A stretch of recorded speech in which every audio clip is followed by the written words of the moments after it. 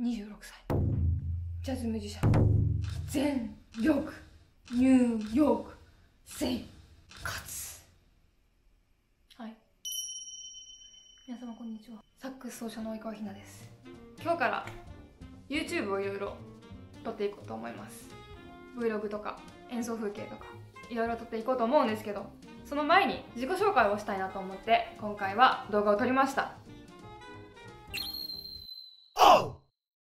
はい、えー、私の職業はジャズミュージシャンです。サックスを吹いてます、まあ、これがアルトサックスっていう種類のサックスをメインに吹いてて他にソプラノサックスとフルードとあとクラリネットも演奏します。26歳です。98年生まれ。で埼玉県出身です。ニューヨークには2021年の9月に来ましたなのでもうすぐで丸3年が経とうとしてるんですけども最初は大学院のジャズパフォーマンス学科のある大学院がニューヨークにはいくつかあってそのためにアメリカに来て去年の5月に卒業してそのままニューヨークに住んでいるという感じです。趣味は短歌と読書が趣味です。短歌を4年ぐらい続けてます。どんなことを動画にしたいかってことなんですけど主に Vlog みたいなそのニューヨークでの生活を撮りたいなと思ってて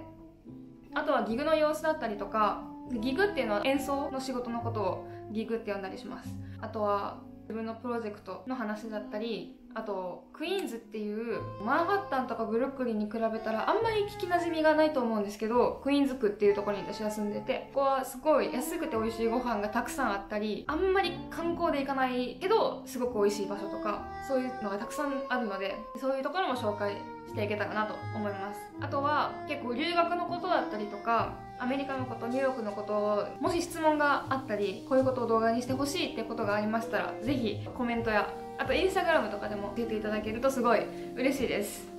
あとはまあ使ってるサックスの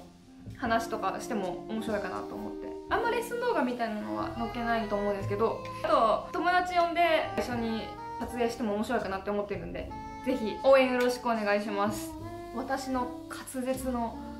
改善にも乞うご期待。というわけではい。そんな感じかな？じゃあねあー間違えた。